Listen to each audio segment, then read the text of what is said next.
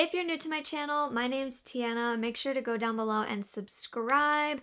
And I'm happy that you're here because today we are going to be talking about the Mary Kay spring launch. Mary Kay has been something that I've been trying out lately. So I was really excited when I got their spring launch because now I can test out these products and let you know what I think of them. And I was actually very surprised on everything that I got. I have tried a lot of these items that I was sent, so I'm able to give you guys a review today and tell you guys what I've been enjoying, what I've been wearing, how the consistency is, and everything like that. This video is just going to be a review. We have quite a bit of products to get through today and I have a lot to say about them. So I thought I would just sit down, chat with you guys, and then in the other videos you can see how I actually apply the products.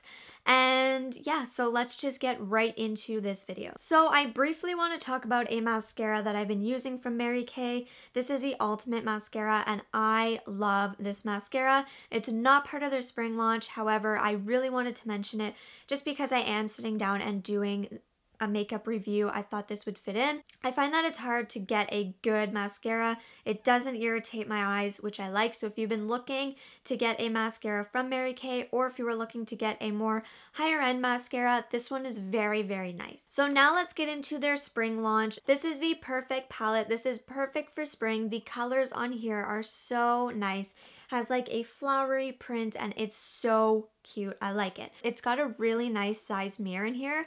So even if you wanted to just use it for the mirror, it's a really nice size mirror and whatever you want to put in here, you can. You can go on their website and see what would suit you. You could put like a highlighter and a blush if you wanted to. I like these palettes and I like traveling with palettes. So this is something that I like for the spring. So that's the first thing. Number two is their at play sticks. There's five of them. So I haven't used all of them just because they're not all for me. However, we are going to be talking about them today. So this one is the Get Sculpted one, which I've been using and I really like it for contouring. I find that this is easy to blend out. It gives you a really, really nice look. I find you can use a sponge to blend it out. I normally start with a sponge and then I go in with a brush. I love the creaminess. I love the color of it. So this is the Get Sculpted one. I am very fair, so it does go pretty nicely on my skin. The next one is the Get Sculpted 2. This one I haven't used, but it is like the same consistency. It's just darker. This is too dark for my skin tone. I feel like it would just be too much. And I like a more subtle effect, so the Get Sculpted one is perfect for me. But if you are a darker skin tone than me or you like a darker contour, the Get Sculpted 2 may be best for you. Next, I want to talk about the Ditch the Dullness stick. Again, I like the size. It's creamy, just like the Get Sculpted ones. And I don't have dull skin, but a lot of people are into color correcting so I feel like if you have dull skin and if you're into like color correcting this is a purple crayon let's call it very creamy just like the contouring one so I think you would really enjoy this. The next one is the Wipeout Redness. I do not have redness but my boyfriend's mom does and she really wants to try this so I feel like I'm going to pass this along to her so she can use but again, the color is there. It's very pigmented. The next one is a rose gold glow and I love this color so much. It's like a highlighting stick which I love. Like the color is just stunning. It is so, so nice and so pretty. And what I like about this is it's an actual like pinky color too. So when you really start to blend it out, like it gets shimmery. I like this. If you're into like a pink, highlighty or a pink glow, this is going to be really, really nice for you. Another place that I thought you could put it is like maybe like in the inner corners and near your lids, wherever you feel like you would want to have this pinky glow you would like it. So now I want to get into something that I've just been loving since I got and I've been I tried all three of these out. These are the matte lipsticks. This is in the shade Perfecto Nude. I love these colors so much. If you like nudes, you will really like these and you will probably love the smell of these. These have like a cocoa smell and it reminds me of something like Tarte has and I love the smell. They're so creamy, so hydrating. They're so nice looking on the skin and I love them reapplying them for me is not a big issue. I don't have a lip liner, so I'm not sure if having a lip liner will make them last a little longer. But if you're like me and applying them after a little bit doesn't bother you, you would really, really love these. I love them so much, even the packaging of them. I was really surprised when I got them, and I was surprised at the colors and how pigmented the colors are and how they look on the lips. They're the perfect nude. So anyway, that was the first one. The second one is in the shade Bellissimo Nude. So they're really nailing it in the spring with the nudes because I feel like it's that perfect time of year for it. And lastly, this is the uh, Bacchio Nude. I believe that's how you pronounce it. I may be saying it wrong, has a more orangey undertone to it, but some days I do like to have a more toned down color, and this is pretty light so I can wear it on non-makeup days, which I like too. So if you're looking for something that you could wear on like non-makeup days just to give your lips that nice shade or something really natural, all three of these are really nice colors and there's no like shimmer in them. They're matte, which I like. It's not glossy. They don't feel tacky. They're not gross tasting. These really impressed me. And I've tried lipsticks in the past where they're very heavy on the lips. They're very, very greasy, oily. These are not. These are very, very comfortable. So I really, really like these and I've been wearing them in my past videos for many of my past videos actually. Next up are the lip tints and I have not tried the lip tints. However, I have swatched them. I played around with them on my hands, on my arms to see how long they would last for like being in water. Just from being like on my arms and hands, these last a long time. I haven't tried these because I really wanted to try the lipsticks. So lip tint number one is going to be Flora. Now this is a really, really pretty color. I love how it's almost like a marker and you're able to like draw it on. The color is nice.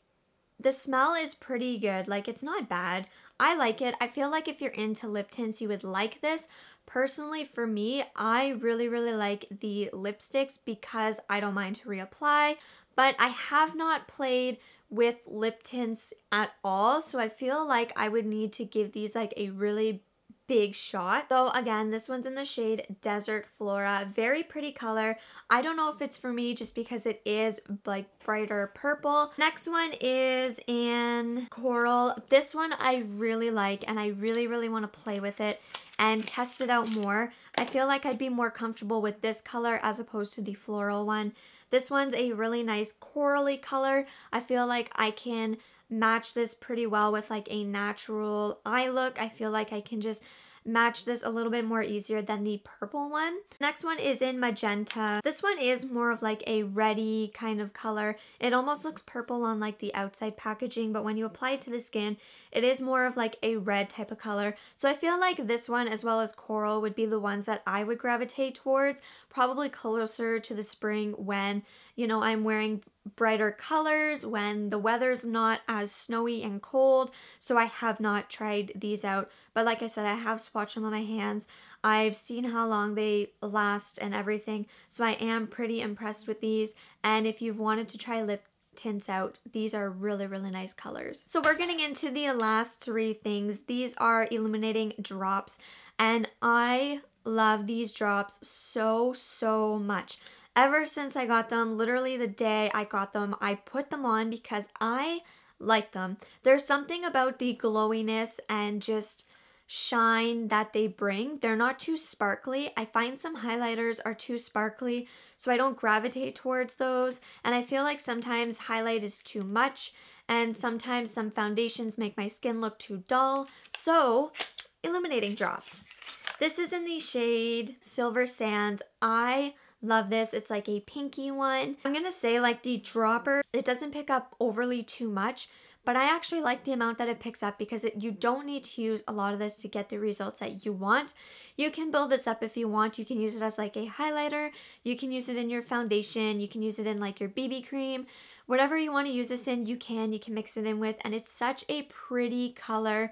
And it's not like glittery. I wear these so, so often. And I like having that that pop of brightness, that illuminating look. So this is just perfect. Silver Sands is my favorite shade. Next one is Bronze Light. And this one is too dark for me. I am fairly light and I feel like this one is just a little too dark. So I haven't tested it. But again, the colors on this is just so so nice. Golden Horizon is another one that I really enjoy wearing. I will reach for these before highlighters just because I really, really like them. So here's my hand after that whole thing. Mary Kay skincare for me was really, really good. It's still really good. My face likes it.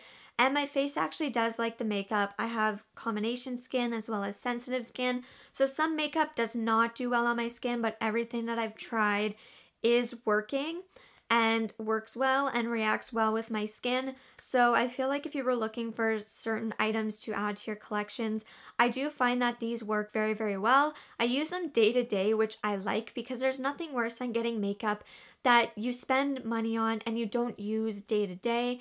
And you can also use these for special occasions and build them up and mix them in with things. And it's just, they're fun. That's what I like. They're fun, they're versatile, they're things that I enjoy using. In February, in my favorites video, you will see specific items from this launch that I have been using more than others. So I will see you guys in the next video. Make sure to subscribe. If you have any video suggestions, leave them in the comments down below.